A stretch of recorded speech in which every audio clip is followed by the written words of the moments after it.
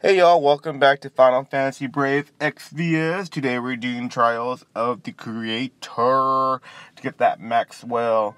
Um, I did attempt this multiple times trying to clear the event. Um, I did it was actually to beat the the second time I tried it. First time I just went in blind try.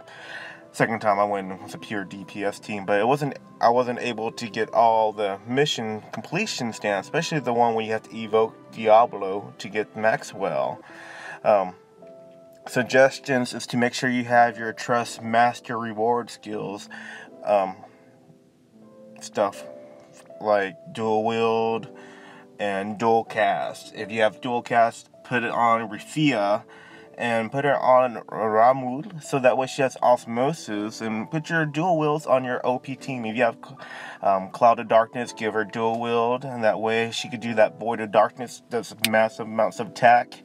And also, or you can have your OP um, five star base Elsa's and just give it to her and she could do all kinds of cool stuff.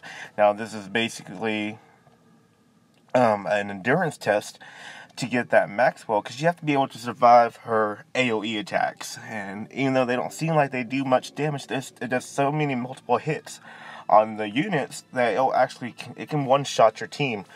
Um, so must unit to bring is Cecil, of course. Make sure you have him um, have his spirit up, his defense up.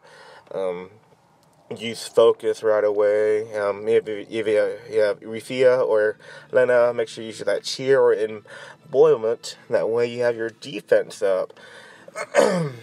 and make sure you bring a friend that has Diablo. That way, in case your Diablo die, Diablo unit dies, you have your friend's Diablo unit able to invoke Diablo. So yeah. Anyways, enjoy this video. This is probably like my 10th attempt at Maxwell and I was able to clear it. So I'm very excited for this achievement. And yeah, I do have an OP team, I guess. OP team. OP team, I guess. Two Urzas, one Cecil.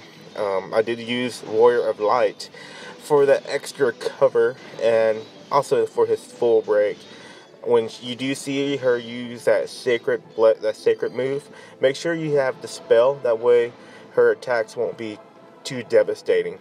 But anyways, this this freaking battle is like devastating in a way. So enjoy the video, guys.